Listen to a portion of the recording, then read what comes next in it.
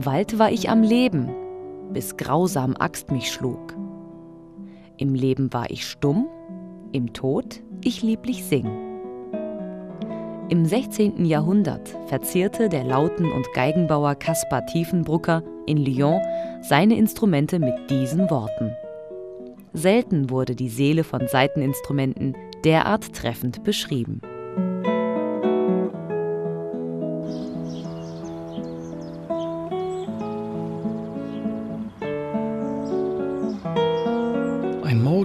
April in Bubenreuth. Das 5000 Seelenstädtchen nördlich von Erlangen liegt noch ein bisschen verschlafen da. Doch hinter dem Eichenplatz, wo das Geigenbauerdenkmal steht, den Hügel hinauf, in der Geigenbauersiedlung ist es schon vorbei mit der Ruhe. In seiner Werkstatt baut Meister Gerold Karl Hannabach gemeinsam mit seinem Sohn Karl Gitarren in Handarbeit. Gitarren, die von Konzertgitarristen auf der ganzen Welt gespielt und geschätzt werden.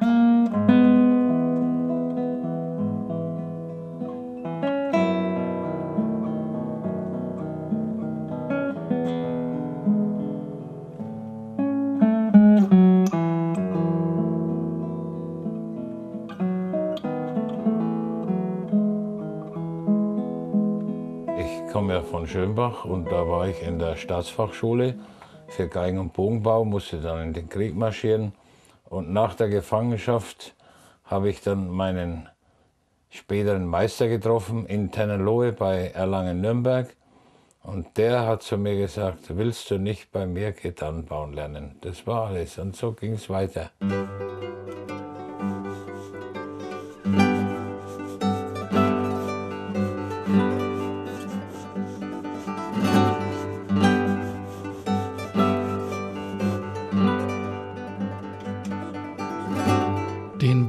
Gitarre beginnt Hannabach mit der Konstruktion des Korpus. Die Decke ist das wichtigste Bauteil der Gitarre. Sie nimmt über den Steg die Schwingungen der Saite auf und bringt die Gitarre zum Klingen. Die meisten Gitarrendecken werden aus Fichte gefertigt.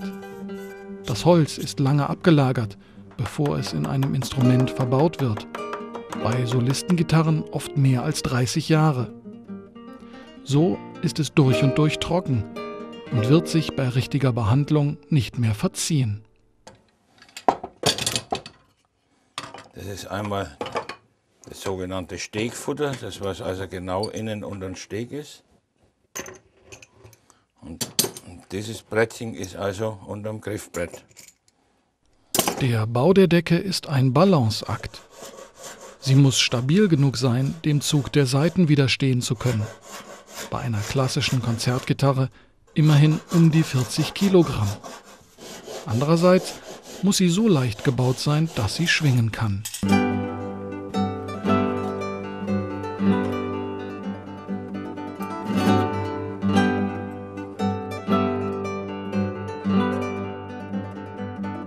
Um die Decke der Gitarre stabil und gleichzeitig schwingungsfreudig zu machen, wird sie auf der Innenseite mit Leisten versehen.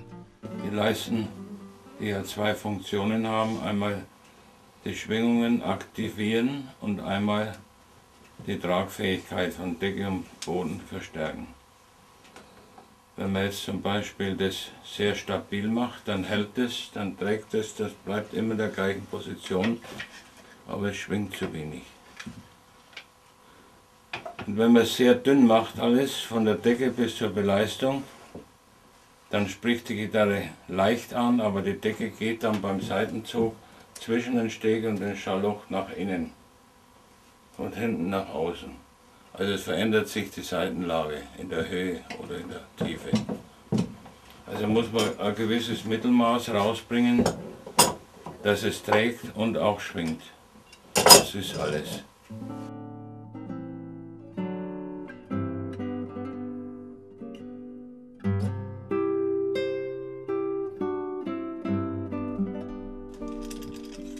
Das richtige Maß für die Stärke der Decke wird in der Hauptsache durch einen Faktor bestimmt, die Erfahrung des Meisters.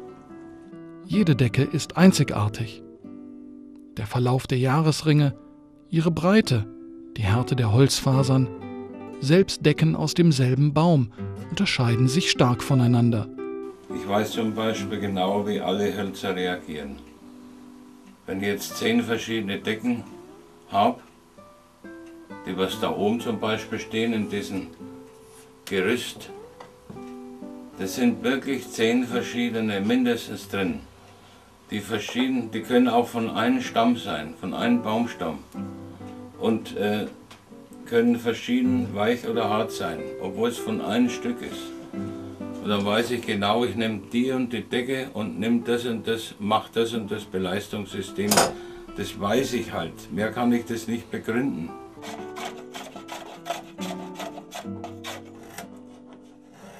Nur mit Handarbeit kann diesen Anforderungen begegnet werden.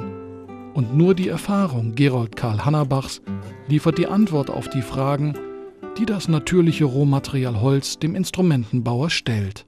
Unser Beruf, wie ich den ausführe, und der Karl ist, ist eine Wissenschaft, die aus der Praxis kommt. Und äh, der Praktiker hat halt alles oder fast alles ausprobiert und das funktioniert. Und wenn ich heute mich Meister nenne und gezielt eine Gitarre baue, also nichts zum Aussuchen, sondern sage, ich baue jetzt für den Solisten oder für jenen die Gitarre und das funktioniert, dann kann ich sagen, ich bin Meister. Das Geheimnis ist die Erfahrung mit Holz, mit Holzstärken, mit Konstruktionsmerkmalen, die sehr wichtig sind für viele Instrumente. Und das dauert ein, zwei oder drei Jahrzehnte, bis man da wirklich das so raus hat, denn jede Decke ist anders, hart oder weich. Man lässt die stärker oder kann die schwächer machen. Und danach stimmt man auch die Beleistung wieder ab. Nicht das Grundsystem, sondern die Stärke. Die heute übliche Anordnung der Leisten auf der Innenseite der Decke wurde vom Erfinder der modernen Konzertgitarre entwickelt, dem Spanier Antonio de Torres. Um die Mitte des 19. Jahrhunderts revolutionierte Torres den Gitarrenbau.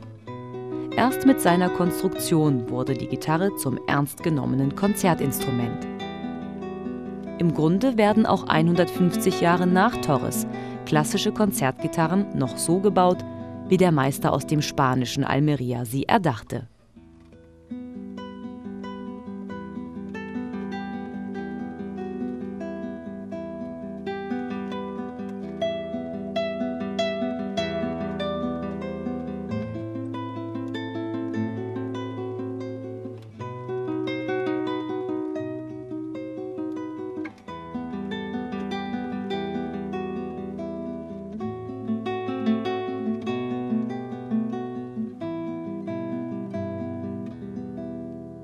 Wenn die Konstruktion der Gitarre seit 150 Jahren grundsätzlich gleich geblieben ist, ist sie dann ein einfaches, ein schlichtes Instrument ohne Geheimnisse?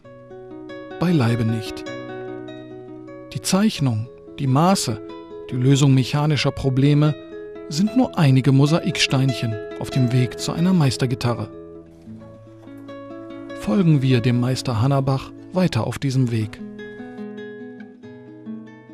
Der Boden des Instrumentes stellt nicht so große Ansprüche an die Konstruktion wie die Decke. Hannabach bezeichnet den Boden als Echowand.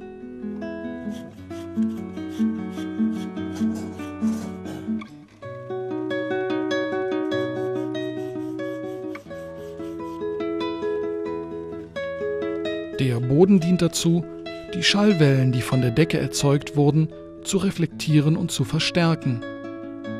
Für den Boden werden abgelagerte Harthölzer verwendet. Palisander aus Südamerika, Ovankol aus Afrika, Ahorn aus Europa. Die Liste der für den Korpus verwendeten Hölzer könnte noch lange fortgesetzt werden. Der Boden muss recht hart und stabil sein. Mit drei Querleisten wird er gewölbt. So wird der Schall innerhalb des Korpus günstiger verteilt.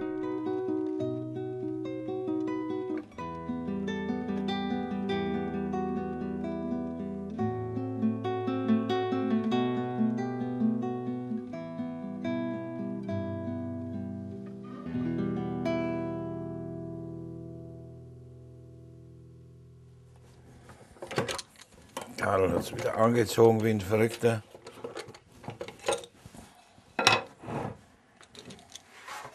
Jetzt Jetzt schauen wir mal, ob er gut verleimt ist. Jawohl. Schauen wir den Ton. Super. Und jetzt werden Sie dann den Ton hören, wenn ich die Leisten profiliert habe.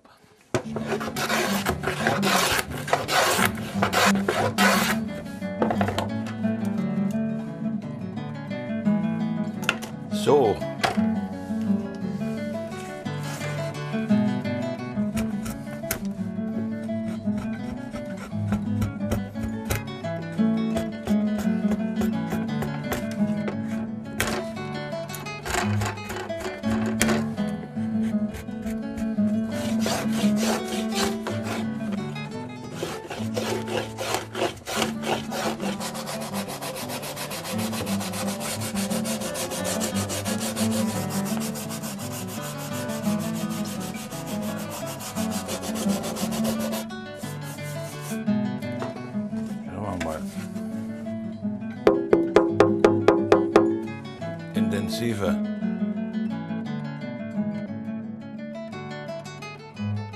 Außer dem Schall trägt der Boden den Gitarrenzettel.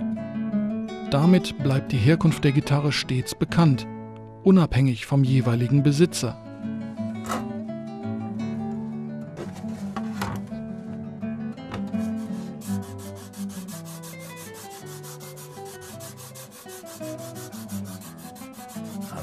Auf. Jawohl. Dieser Zettel kennzeichnet das Instrument als handgefertigte Meistergitarre.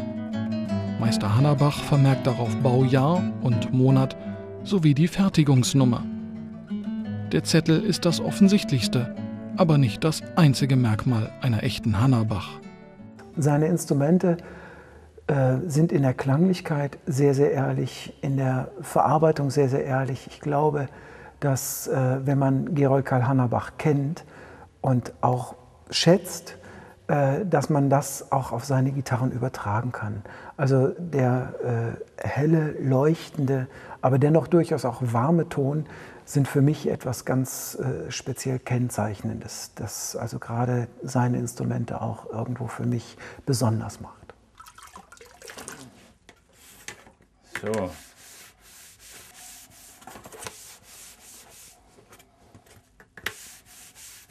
Langsam, Hannawach. Der Boden wird durch die Zargen mit der Decke verbunden. In der Regel sind die Zargen aus dem gleichen Holz wie der Boden.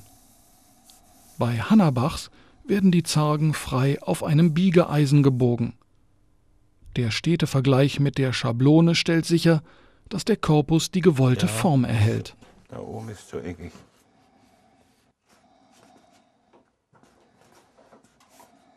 Die beiden Zargenhälften werden mit dem Ober- und dem Unterklotz zum Zargenkranz zusammengefügt.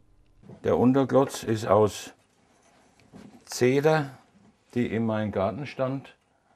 Also ich verwende ja alles Holz, also Atlantis-Zeder, also Blauzeder.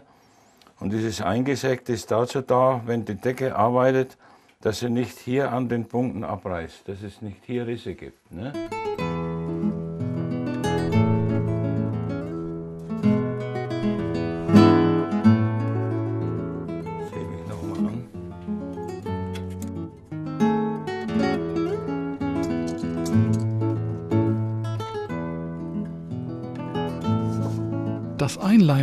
Reifchen bereitet das Zusammenfügen des Korpus vor.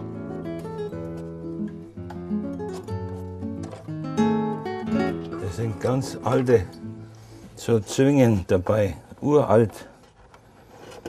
Als ich sehr wenig Geld hatte, das war zum Beispiel eine Puppenstube hier, da war die Tapete noch drauf. Die hat ein, einer weggeworfen, Sperrholz, ich habe es verarbeitet. Ne? Ich sage es.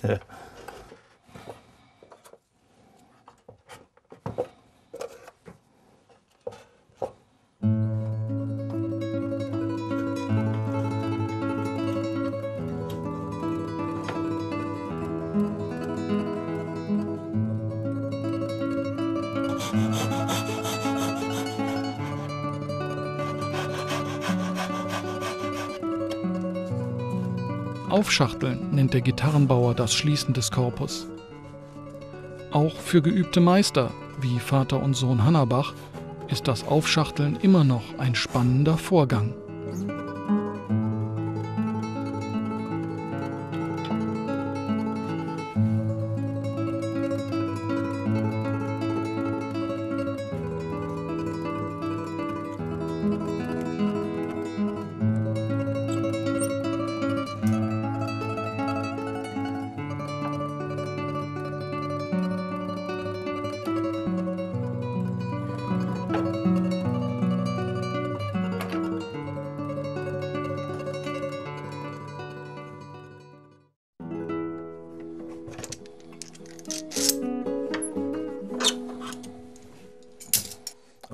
Dieser harte Unterbau mit dem Spezialobergott, der ist sehr wichtig, um eine gewisse Härte, wenn der Spieler beim Griffbrett hochgreift bis zum 19. Bund, dass er immer die ähnliche Härte hat hier über die Decke wie beim Hals. Das ist also ganz wichtig.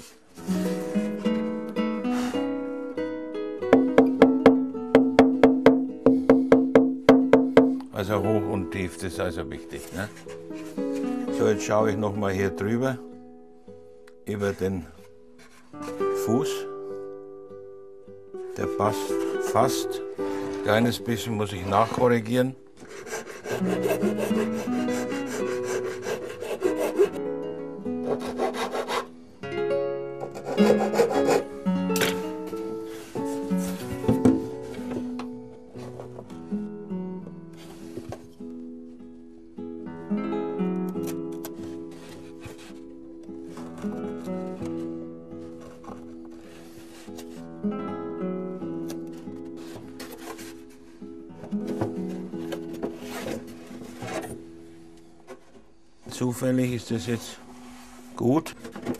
Manchmal gut, geht manchmal nicht so gut. Aber immer, immer kriege ich es irgendwie hin, wissen Sie? Das sind wieder Erfahrungssachen dann.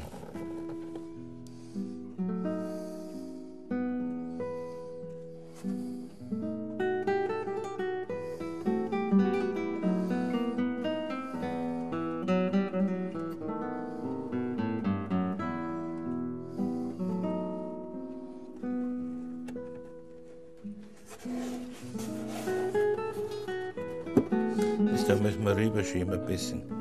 Boden. Jetzt. So gut. Jawohl, super. Ich habe damals meinem Sohn äh, gesagt, hör mal Karl, willst du irgendwas anders machen oder willst du hier die Werkstatt später mal übernehmen, bei mir lernen? Sagt er ja. Und ich hoffe, das klappt so, wie er sich das oder wie ich mir das vorstelle. Schauen wir mal innen rein. Ah, da ziemlich Leim drauf, der Annerbach. Schau mal hin. Der hat gelernt und ist, glaube ich, ein sehr guter Handwerker geworden. Und er ist zurzeit eben bei einem Kollegen für Geigen- und Cellobau. Und ich glaube, dass das sehr gut ist, wenn man vielseitig ist, wenn man Streich und Zupf beherrscht.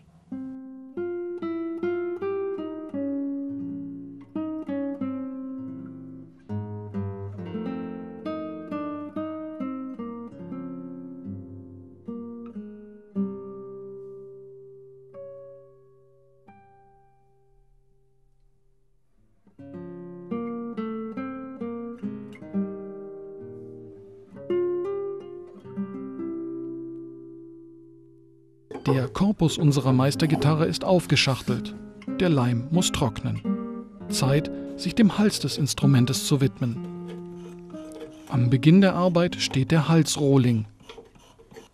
Aus leichten, aber stabilen Hölzern wie Mahagoni oder Cedro entsteht die Grundform des Halses. Meistens wird der Hals gesperrt. Das heißt, in die Mittelfuge wird ein anderes, härteres Holz eingefügt. So wird der Hals unempfindlich gegen die starken Zugkräfte der Saiten. Außen das ist eine Mahagoni, leicht Mahagoni Art, Kaya und in der Mitte ist es Erle, also ein deutsches Holz. Ein German Wood. Die Kopfplatte wird für die Aufnahme der Mechaniken vorbereitet. Und jetzt zeichne ich dann die Schlitzgröße auf mit dieser Schablone hier.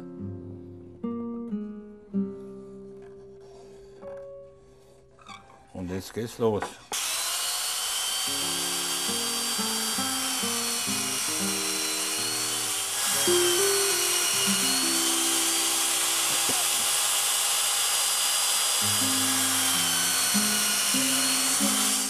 So, jetzt muss ich die da so drauf kriegen. So, den Schlitz.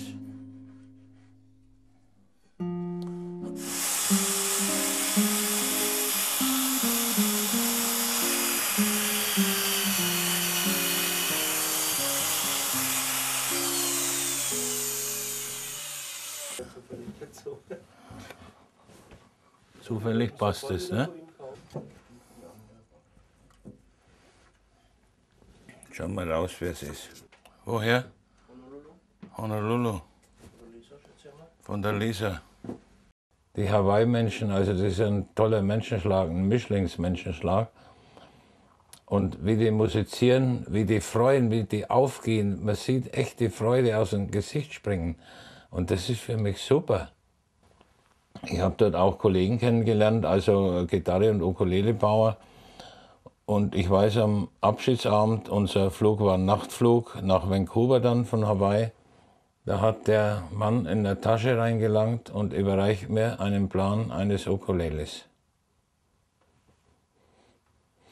Ich habe also die Abmessungen befolgt, habe aber meine eigene Konstruktion gemacht. Aber ich habe mich so gefreut über die Geste von diesen Menschen. Es war ein Chinese. Über die Geste des Menschen, mir was geben zu wollen, wo ich mich freue. Und das hat er kapiert und ich auch. So, Karl,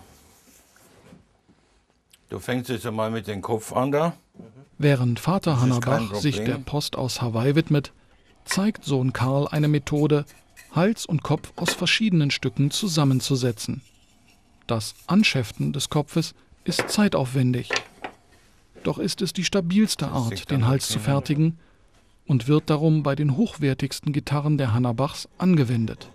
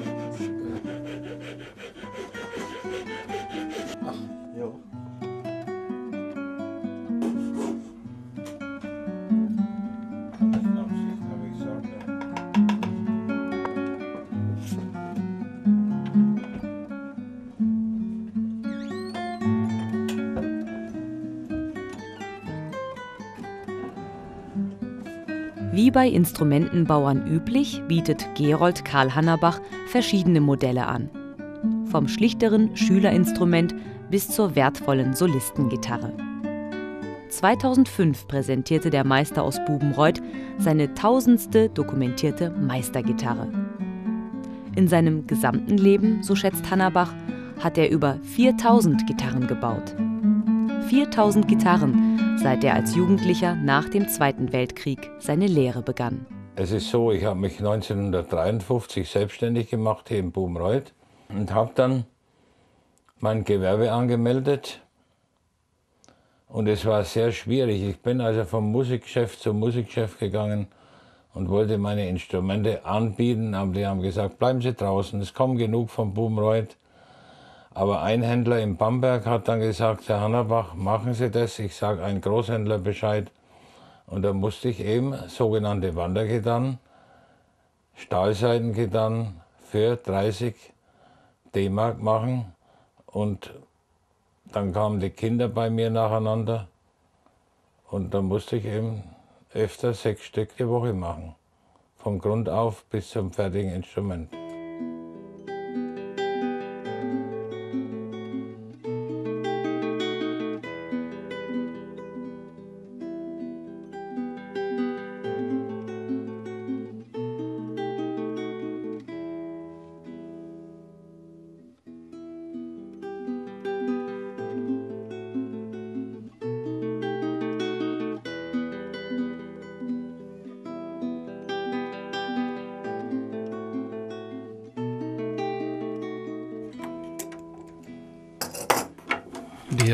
Der den Korpus zusammenhält, ist über Nacht getrocknet.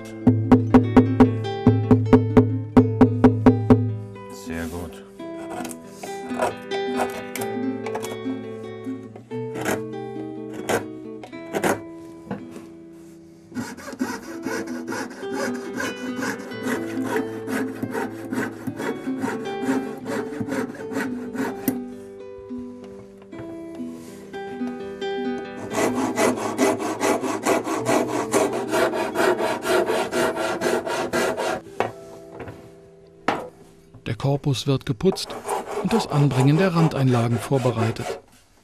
In den Rand von Decke und Boden werden Vertiefungen geschnitten, die den Randeinlagen als Sitz dienen. Und die Außenrandanlage hat zwei Funktionen. Einmal die Funktion, da der Leim hier im Außenbereich ist, dass keine Risse entstehen von außen. Zweitens sind es Stoßränder. Das ist Nummer zwei, sogar Nummer drei gibt es, dass ein Zierrand ist.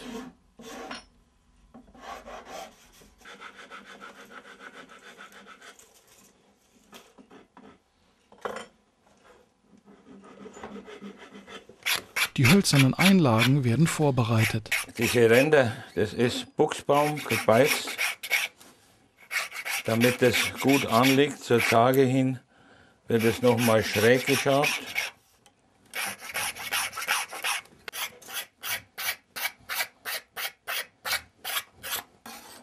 So. Es hat schon wieder getropft, aber das macht nichts. Das Einleimen der Randeinlagen geschieht auf eine jahrhundertealte Art und Weise. Mit erhitztem Knochen oder Hautleim werden die verschiedenen Späne der Einlagen befestigt. Bis der Leim abgebunden hat, werden die Einlagen mit einer Schnur an ihrem Platz gehalten. Wickeln nennt man diese Methode.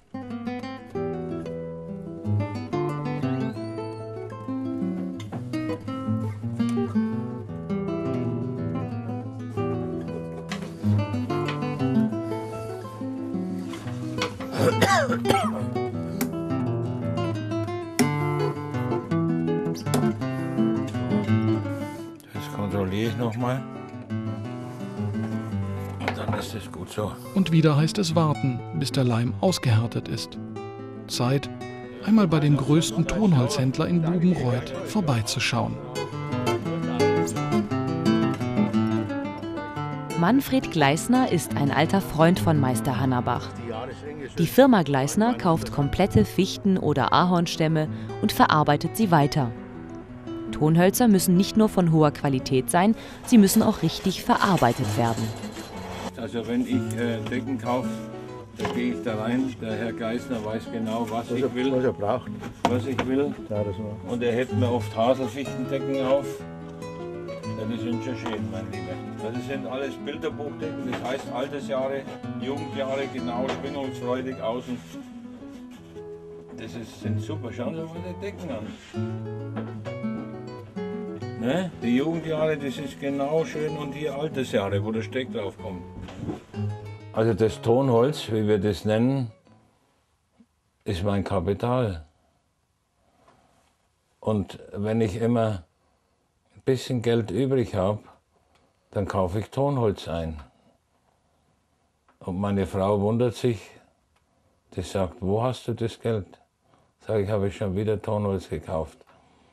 Und dann heißt es, du brauchst es ja nicht mehr. Sage ich, ja, ich brauche das nicht mehr, ich kann das nicht mehr verarbeiten. Aber für meinen Sohn, für die Werkstatt, es muss eine gewisse Reserve da sein.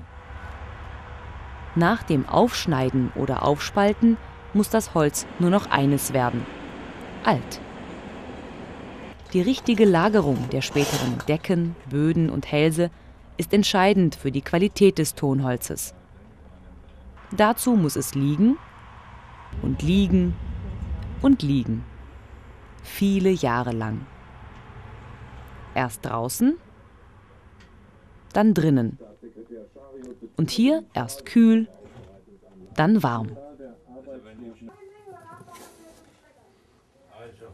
Zurück in der Werkstatt. Der Leim am Korpus ist hart. Jetzt steht der nächste wichtige Schritt an auf dem Weg zur Meistergitarre. Hals und Korpus werden zusammengefügt. Zwei Methoden werden dazu traditionell genutzt. Bei der sogenannten deutschen Halsverbindung wird der Hals in eine exakte Aussparung im Korpus gesetzt. Bei der spanischen Halsverbindung bestehen Hals und der im Korpus liegende Oberklotz aus einem Stück, in das die Zargen seitlich eingepasst werden. Die spanische Verbindung bleibt bei Hannabachs edlen Konzert- und Solisteninstrumenten vorbehalten.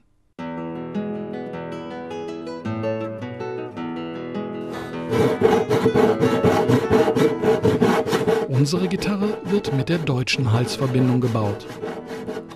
Wird sie mit solcher Sorgfalt wie von Karl Hannabach ausgeführt, steht sie der komplizierteren spanischen Bauweise kaum nach. So, dann haben wir die Schnitte drin.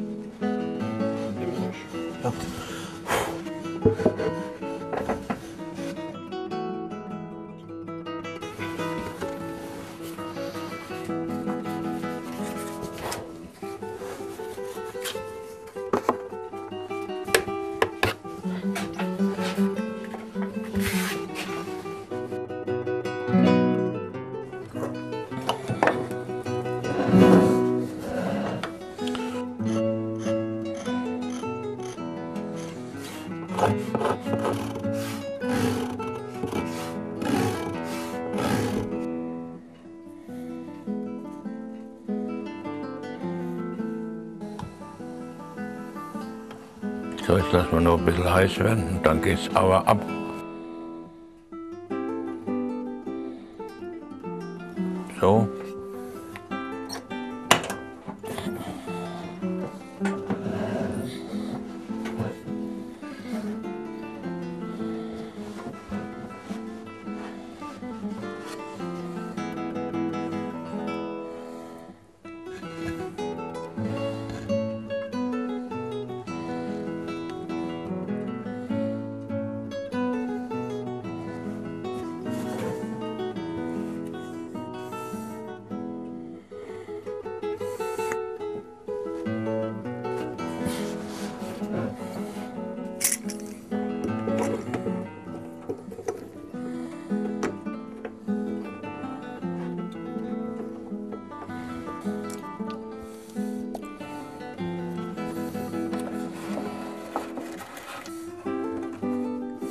So, dann muss ich jetzt eine größere Zwinge ansetzen, weil das zu wenig, zu wenig drückt.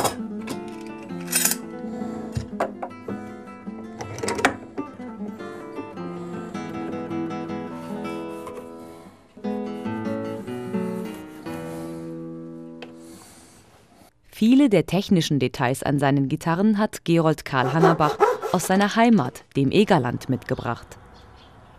Aus der Kriegsgefangenschaft freigelassen, konnte er in seine Heimat, das Städtchen Schönbach, nicht mehr zurückkehren. In Bubenreuth fanden damals sehr viele Vertriebene aus Schönbach eine neue Heimat. Die meisten von ihnen Geigen- oder Gitarrenbauer, Bogenmacher, Seitenmacher oder Mechanikenbauer. Die Heimat ist hier in Franken, denn ich bin mit 16 Jahren, mit 16 Jahren wegmarschiert. Und, äh, aber es kommen doch immer wieder Erinnerungen an diese Zeit, an diese Jugendzeit in meinem Geburtsort. Und äh, natürlich ist es die alte Heimat, es ist der Geburtsort, aber zu der Heimat gehören auch Menschen und die sind meistens nicht mehr deutschsprachig und die anderen sind verstorben. Und dann fehlt ein ganzes Stück. Aber ich habe auch meine Familiengräber noch dort und ich fahre trotzdem gerne hin. Und meine Frau versteht es, obwohl meine Frau hier von Erlangen stammt.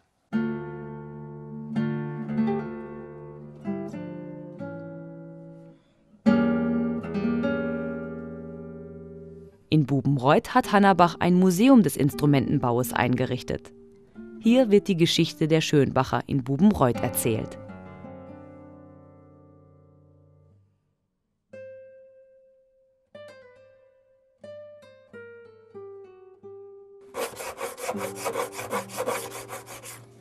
In Hannabachs Werkstatt nähert sich unser Rohbau allmählich dem fertigen Instrument. Die Bünde, exakt berechnet und gesägt, werden in das Griffbrett getrieben. Entscheidend für den Abstand der Bünde ist die Mensur. Das ist die schwingende Seitenlänge der Gitarre. Die gebräuchlichste Mensur ist 65 cm. Doch stellen längere oder kürzere Mensuren kein Problem dar. Allerdings muss im Bedarfsfall dann auch der Korpus anders konstruiert werden. Es ist also möglich, dem Gitarristen ein Instrument auf den Leib zu schneidern. Der Grundcharakter bleibt immer da. Das ist eben immer eine typische Ernerbach. Ich baue also eine sensible Gitarre, keine Krachgitarre, die also richtig losbeutert wie verrückt. Und dann lasse ich ihm verschiedene Instrumente spielen. Da muss ich rauskriegen, will er Fichte, will er Zeder. Ich erkläre ihm das, was die Zeder und die Fichte für Unterschied haben. Also meistens kriegt jeder die Gitarre, die er will, soweit es geht. Und da spielt die Materialien rein und die Konstruktion und vieles andere. Meister Hannabach baut längst nicht mehr in Serie für den Handel. Er fertigt nur noch Einzelstücke auf Bestellung an. Ich bin jetzt so weit, dass ich nur den Menschen eine Gitarre baue, der sie quasi verdient. Was heißt verdient? Er muss ja bezahlen. Aber wenn es oft äh, Spieler gibt, die sehr aggressiv spielen oder sagen, spiel, Geld spielt keine Rolle, also die möchte ich nicht gern bedienen.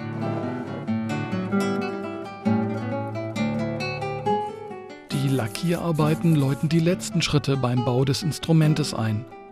Hier ist Vorsicht geboten, denn der falsche Lack oder ein zu dicker Auftrag können den Klang des Instrumentes einschränken. Hier zeigt sich wieder die ganze Erfahrung des Meisters. So.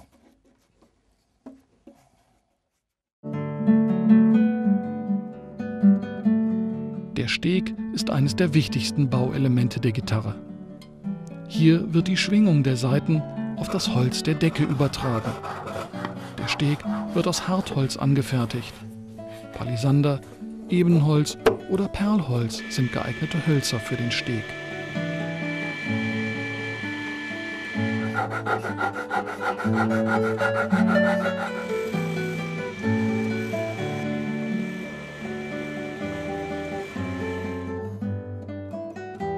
Der Steg ist aufgeleimt, noch ein paar letzte Handgriffe. Dann können die Saiten aufgezogen werden.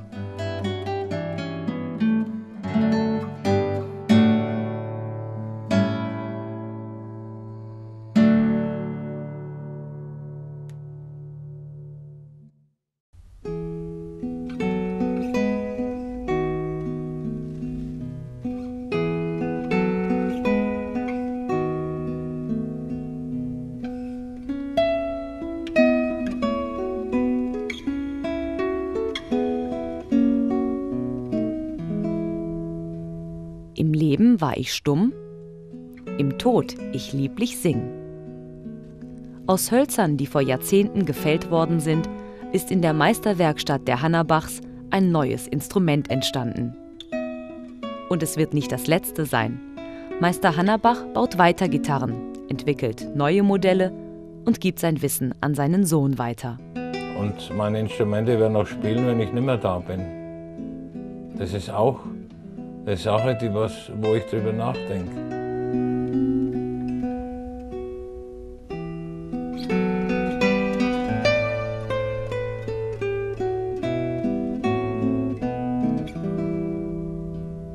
Nach mehr als 60 Jahren Gitarrenbau hat der Meister aus Bubenreuth das Geheimnis entdeckt, das zum Bau einer hervorragenden Gitarre führt. Und es hat nichts mit Konstruktionsplänen oder geheimen Lackmischungen zu tun.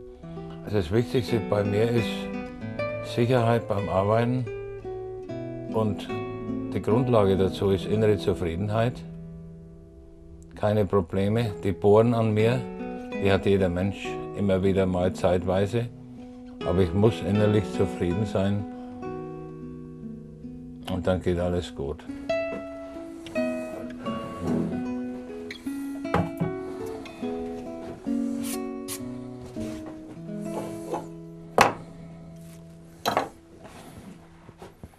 Fertig.